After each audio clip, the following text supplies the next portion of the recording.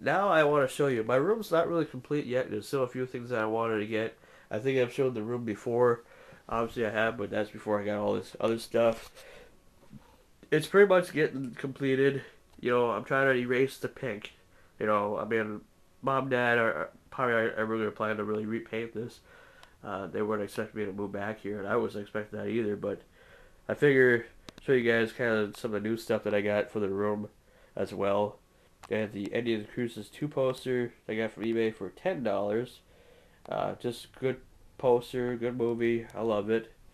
What else can I show you that I got that was different? I got, well, some of the, like the Shanghai Night stuff and, or Shanghai Noon and Night stuff. I, I, uh, figured I'd take the cover of that and, well, it was like a card, index card. It was not the case.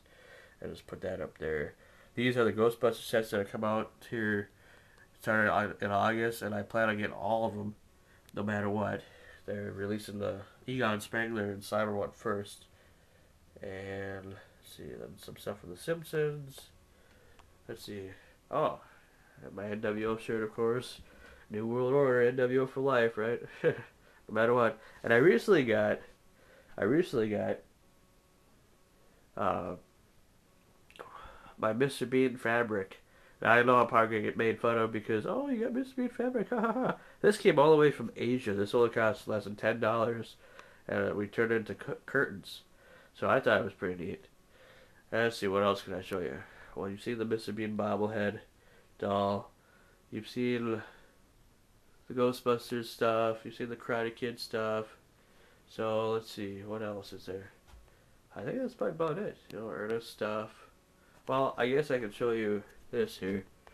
This is that home improvement set that Bookhouse Sports 77 has. And I got it from eBay for $5. Pretty cool stuff, huh? And more cases here.